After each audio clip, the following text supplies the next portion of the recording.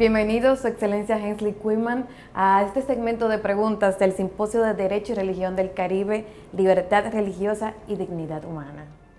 Gracias por la invitación, me siento muy honrado de estar aquí. Es un placer tenerle.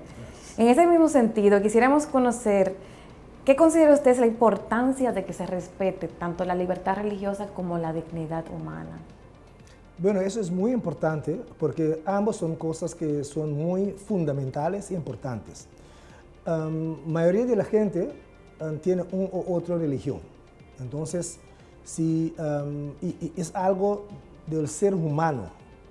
Los seres humanos tienen una religión. Okay. Si hablamos que los seres humanos tienen una religión y que los seres humanos tienen derecho a, a una vida que representa dignidad humana, entonces ambos son muy importantes y son como gemelos. Y por la supervivencia del, pueblo, de la, gente, la religión y especialmente la fe es muy importante. Cuando uno enfrenta retos grandes o está en problemas de cualquier circunstancia que se presenta, muchas veces es el fe que mantiene a la gente en la piel, los da esperanza para poder seguir. ¿ves? Entonces, es muy importante que la gente tiene toda la libertad para um, expresar, vivir su fe, su religión. Y también es muy importante que respetamos a la gente, que le damos todos los instrumentos necesarios para um, realizar una vida donde puede um, buscar la felicidad de su manera.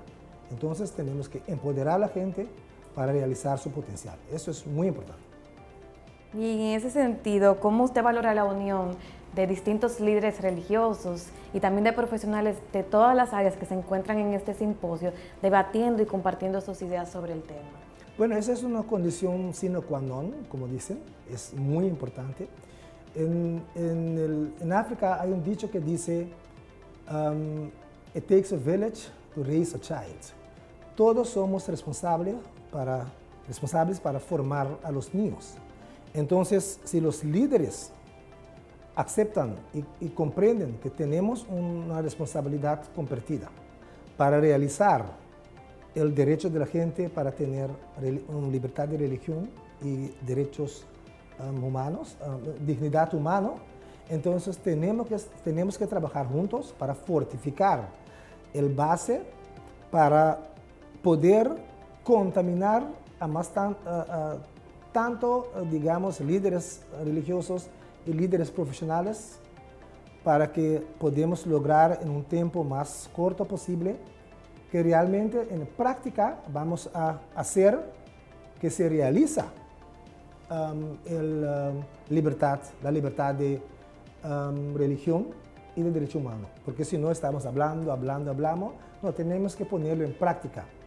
Tenemos que ver en el espejo y preguntarnos a nosotros mismos que, qué estoy haciendo para um, realmente cumplir con la misión que nos dio Dios para que la gente pueda ser libre en escoger practicar su religión y también sentir de una forma um, contundente que tiene dignidad humana.